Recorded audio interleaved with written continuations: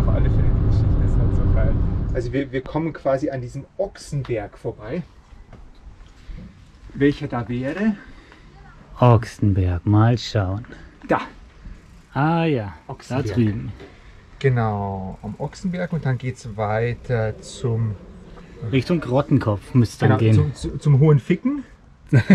ja, hier Richtung Grottenkopf, das ist schon gar nicht auf der Karte drauf. okay, also vergiss die Karte. Gut, also. Ja. So, dann beginnen wir die Tour, äh, die Estergebirgsüberschreitung Ja, mit, ich weiß nicht, wie viel wir heute machen, ungefähr 12 Kilometer, glaube ich. ja. Und so 1000 Höhenmeter. Also es geht eigentlich. Das Estergebirge ist ein Gebirge in der Nähe von Garmisch-Partenkirchen an der Grenze zu Österreich. Zu den wichtigsten Gipfeln gehören der Hohe Fricken, der Bischof, der Grottenkopf und die Hohe Kisten, die wir alle im Verlauf der Überschreitung erklimmen werden.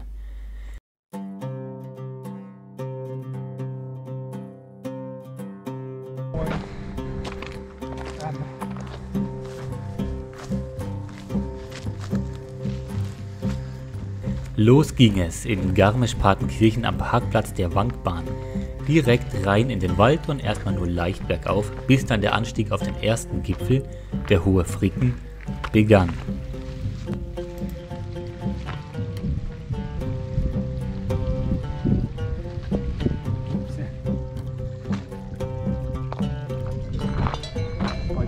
Oh, haben die es schön hier.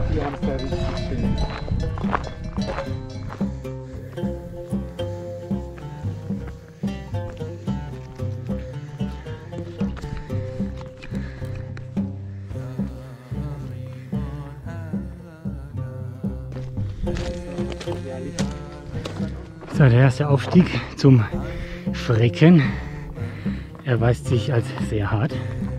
Es geht ordentlich steil den Berg hoch. Wir machen ordentlich Höhenmeter. Ja.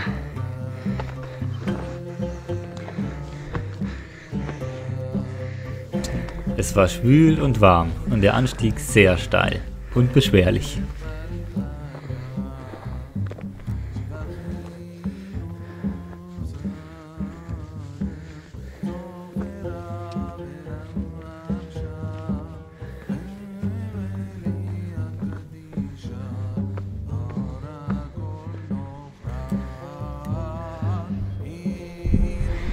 Hier haben wir mal einen kleinen Ausblick darauf, was uns erwartet. Von der Seite hier müssen wir jetzt kommen. Ja, ich glaube, dass wir da hoch müssen. Da oben müsste der Hohe Fricken dann sein. Und äh, linker Hand müsste Ochsenberg noch kommen, aber Mhm. das ist eigentlich kein Ziel von uns. Okay, Aber vielleicht haben wir tatsächlich auch einen Gipfel. vielleicht lässt er sich ja recht widerstandslos noch mitnehmen. Ja, ja. Die ersten 1000 Höhenmeter waren dann aber schnell geschafft der Ausblick all die Mühen wert.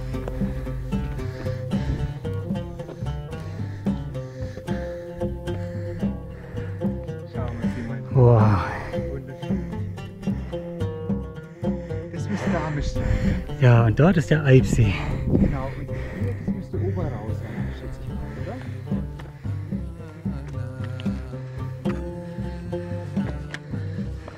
So, jetzt haben wir auf dem Grat zu sein. Da ist der, äh, der Fricken, der hohe Fricken, glaube ich. Und dann geht es da wahrscheinlich weiter. Die nächsten Gipfel.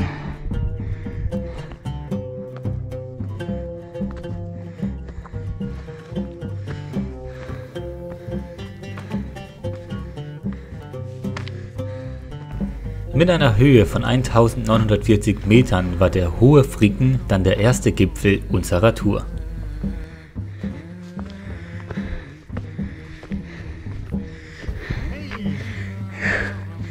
Da der erste Gipfel. am Hohen Fricken, äh, wie hoch sind wir? 1940. Ah, Schön. Also die meisten Höhenmeter haben wir schon geschafft. Der war hart erkämpft hier. Hart gekämpft, ja. Aber lohnend. Ah,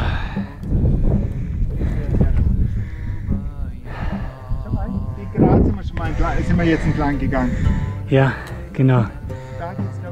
Und da geht's weiter dann. Ah, cool. Puh.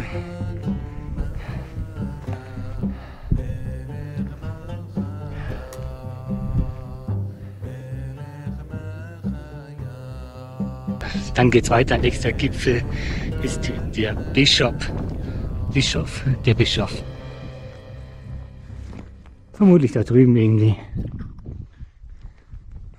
Und wir haben dann das. Das Kreuz sehen wir schon. Ja. Kann nicht so weit weg sein. Wir wandern jetzt hier schön den Grat entlang. Ja, na also, da steht sie ja schon wieder. kommt Artemis 2. Artemis 2 wieder. Na sowas.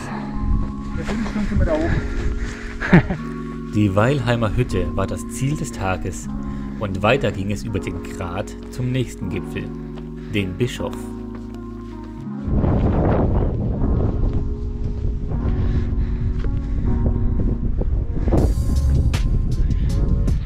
Da haben wir ihn ja, den Bischof. Den Bischof. Wir sind hier auf 2033 Metern. Und es sieht noch relativ neu aus. Das Kreuz ist es auch. Es ist 2018 aufgestellt. Ja.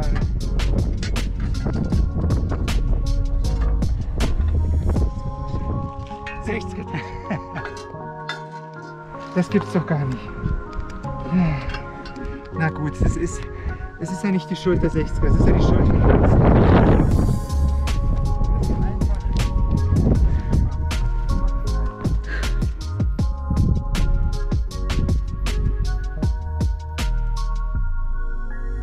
So, da ist schon die Weilheimer Hütte. Die weiß jetzt hier noch ein Abgrund zwischen du. Jetzt müssen wir mal gucken, wo es überhaupt weitergeht.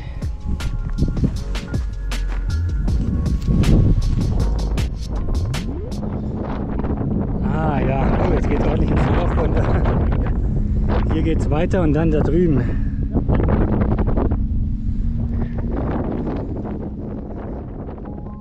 Der Abstieg vom Bischof war dann doch schwieriger als gedacht.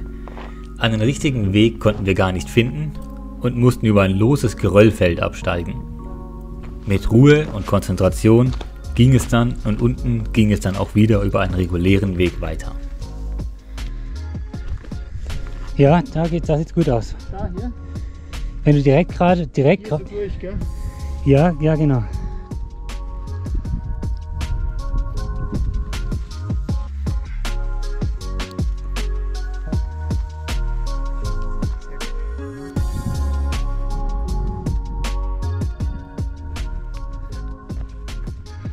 Puh, was für ein Abstieg.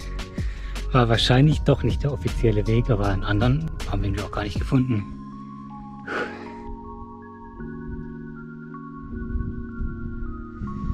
Puh, nein, das war ja ein Abstieg.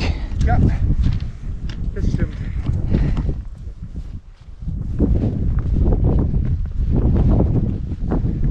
Hier war auch ein Kreuz.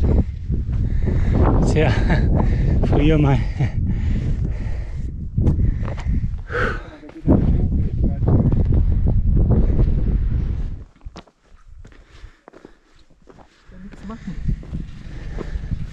So, sie. Sinnvoll ist es es steht auf einem ganz Ja, das ist, da sind wir uns einig. Nein, Ja. das ist es auf keinen Fall.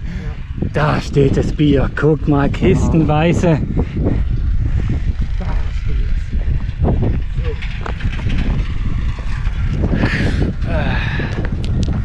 Was haben wir jetzt? Ziemlich genau fünf Stunden später erreichen wir jetzt unser heutiges Ziel, die Weilheimer Hütte. Hier werden wir übernachten. Das ist wahrscheinlich der Grottenkopf da. Ja. Also doch relativ gut machbar. Mhm, ja, ja. Das haben wir in Zermatt auch gesehen, diese Teile. Weil sonst schaffst du es ja gar nicht, dich irgendwo hin zu bewegen. Dieser 1156 Meter. So. Warte mal. Ah, der ist ja. Auf der Weilheimer Hütte haben wir uns dann für die Nacht einquartiert nach einer sehr guten Stärkung ging es noch auf den kleinen Nachbarhügel für den Sonnenuntergang. Ah, so, jetzt kann man sehen, hier, hier Sonnenuntergang ist schon hier und dann ist hinter Berg verschwunden. Wir sehen jetzt hier noch die ganzen Reste quasi, das wird noch schön beleuchtet. Hier ist die Hütte.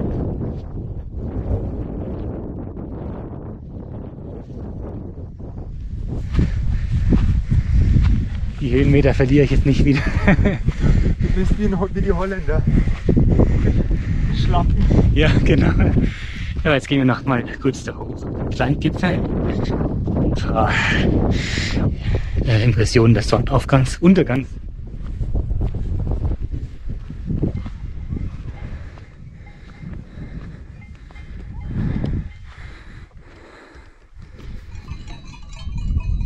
noch rechtzeitig. Simon, schau mich an. Ah, das ist Wahnsinn. Ah, das ist schön, diese Aussicht in dieses Land da. Die Sonne scheint noch drauf.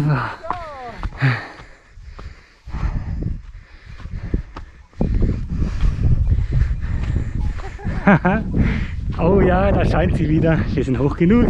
Oh wow. Das heißt, wir kriegen den Sonnenuntergang echt noch hin. Die Schafe da auf diesem Kamm.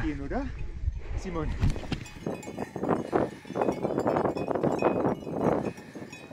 Und vor allem, aber warte mal, Simon, wir haben, Nee, der Bischof ist der da drüben. Ja genau, der da das ist der Bischof, aber Den haben, den haben wir nicht gemacht, nee. Den haben wir ausgelassen. Oh, was? Die haben wir morgen früh Grottenkopf. Ein anderer Grottenkopf. Vorder- und Hinterer.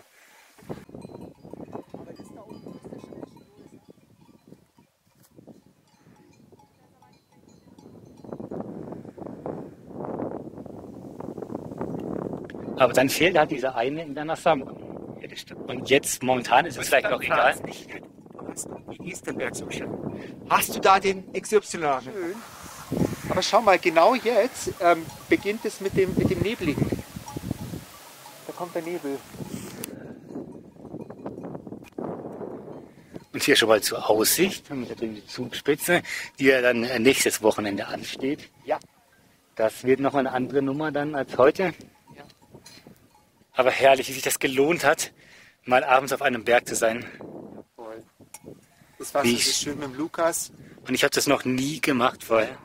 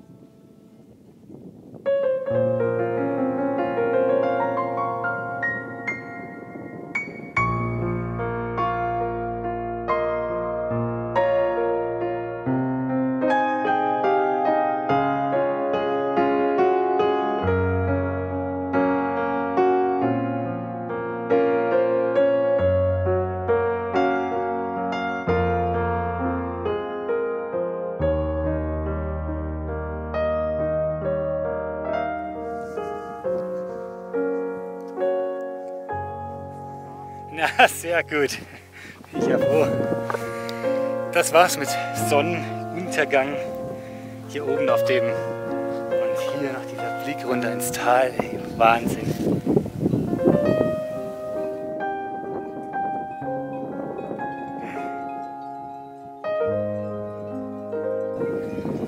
Dort Haus, da übernachten wir heute.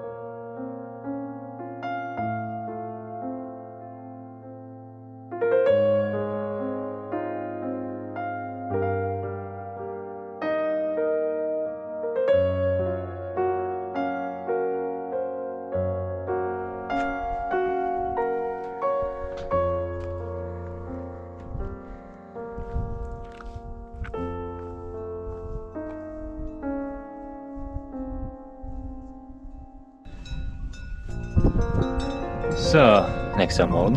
Ja, du stehst auch gerade auf. Ne? Der steht auch gerade auf. Heute haben wir gar nicht mehr viel vor. Haben nur noch den Kopf hinter uns zu machen. Und eventuell gehen wir nochmal zurück. Und gehen auf den Berg noch. Da waren wir nämlich gar nicht. Wir kamen nämlich von dem runter, von dem Bischof und sind dann hier nur noch so entlang bis zur Hütte. Und gestern Abend standen wir noch dem drauf.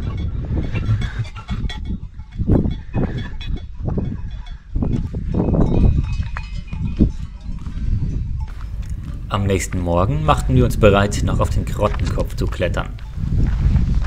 Und dann als letzten Gipfel noch die hohe Kiste zu machen und dann den Abstieg nach Eschenlohe anzugehen.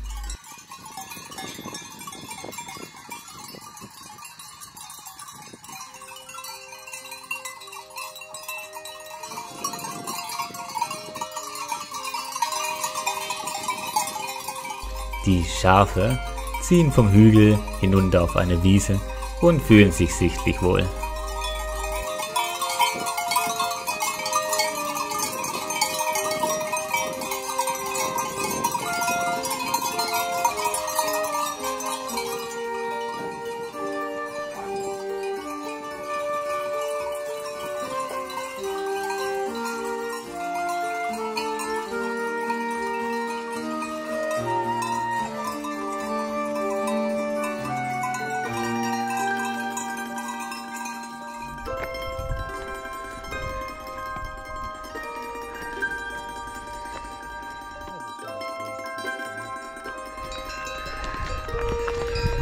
So, jetzt geht's weiter. Wir den Grottenkopf.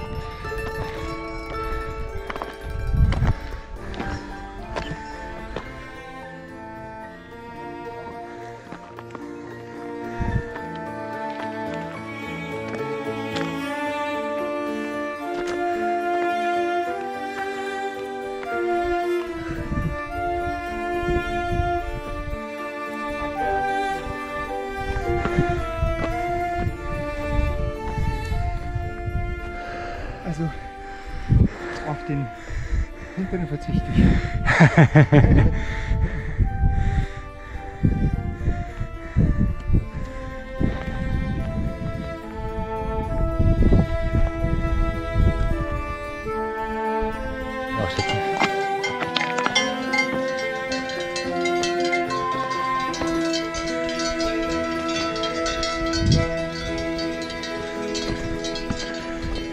folgt der Abstieg Richtung Eschenlohe.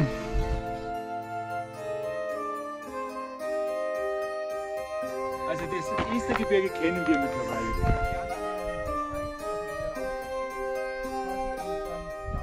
Aber schön, das ist Eschenlohe. Da müssen wir hin. Ah, da können wir eigentlich im Prinzip einfach hier runter direkt. Das könnte man machen. Ui. Aber ich.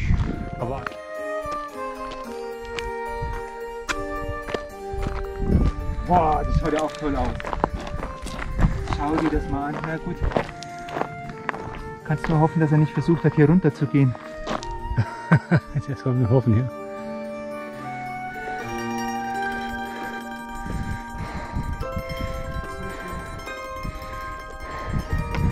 Ja, was haben wir hier? Die hohe Kiste. Die hohe Kiste. Unser letzter Gipfel für heute. Ja. Gipfel Nummer 68. So, da drüben ist die Walheimer Hütte, da komme ich gerade her. Und da unten ist unser Ziel, dieses beschauliche Örtchen.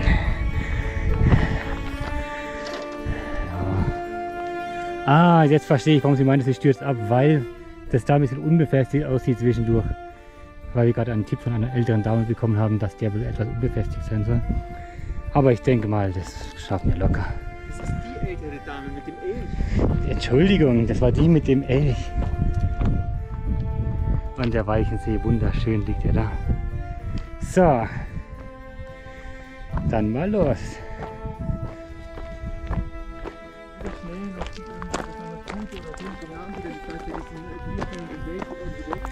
Bergab ging es dann eine ganze Weile über loses Geröll und kleine Pfade.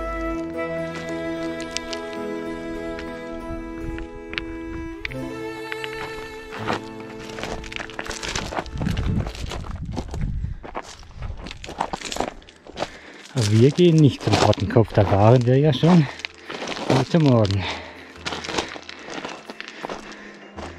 Wir sind hier über dieses Geröllfeld am Abstieg nach Eschenlohe.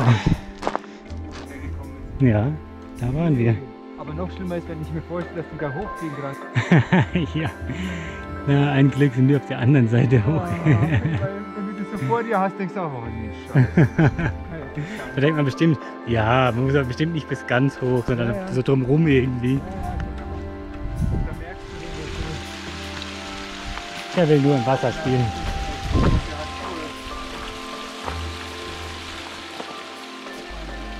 Dann noch durch den Wald, bis wir den Ort Eschenlohe erreicht hatten und zurück mit dem Bus zum Ausgangspunkt am Parkplatz der Wankbahn. ja. So, wir haben es geschafft, zurück ins Tal. wo, die, wo der Bus wegfahren Ja, ja, der fährt wir müssen noch eins weiter.